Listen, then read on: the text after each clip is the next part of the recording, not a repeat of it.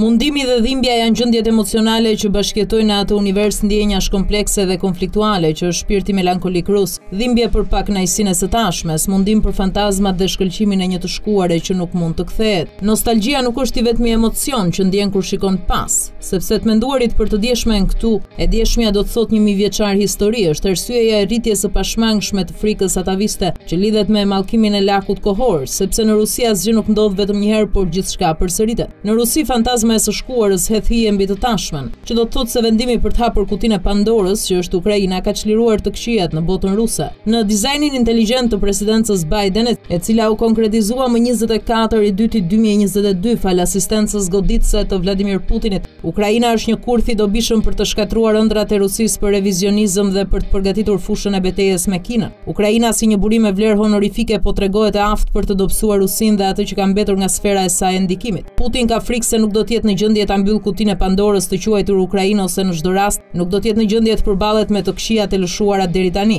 dhe pikërisht mbi këtë frikë SHBA-të dhe aleatët do të vazhdojnë të përdorin levat e komandimit në vitet në vijim, duke e detyruar Kremlinin të shkojë drejt një gjendje rraskapitëse me shpresën se Putini do hedhë hapat e gabuar. Biden është përfaqësuesi i fundit i asaj shkolle mendimi që e konsideron të pamundur çdo normalizim me Rusinë, për sa kohë që Putin dhe putinizmi janë në pushtet. Plani për ta kthyer Ukrainën në një Afganistan të vogël i ka kushtuar Rusisë shkëputjen nga euromarketi global, mbi dhjetë mijë sanksione dhe humbje të shumta ekonomike. Si për Putinin, ashtu edhe për Bidenin, Ukraina është kthyer tani në një tavolinë shahu. Ukraina si varri i Rusisë. Të shumtë janë ata që sot kërkojnë një Rusi tërësisht të copëtuar. Mirëpo një Rusi e copëtuar nuk është në interesin e SHBA-ve, pasi do të hapte rrugën për skenarë të paparashikueshëm. Një ndër to do të ishte përdorimi i bombës atomike si lëvizje e fundit e Putinit. Nga ana tjetër edhe ëndrra e Putinit për rikthimin e Bashkimit Sovjetik është e pamundur. Qëllimi i tij i vetëm është që të mos dalë i poshtëruar nga lufta në Ukrainë. Putin erdhi në pushtet me ambicien për t'i dhënë fund kohës së telasheve dhe nuk do të dëshironte që të mbahej mend si një shkatërrues i Rusisë.